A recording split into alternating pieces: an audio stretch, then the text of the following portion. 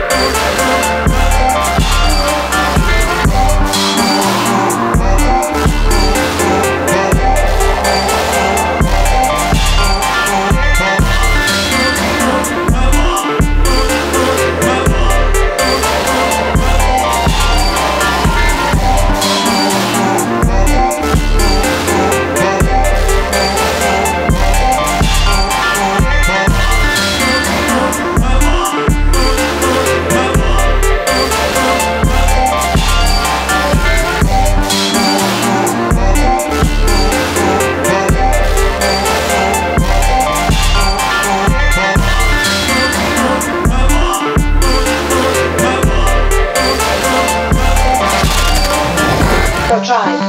the only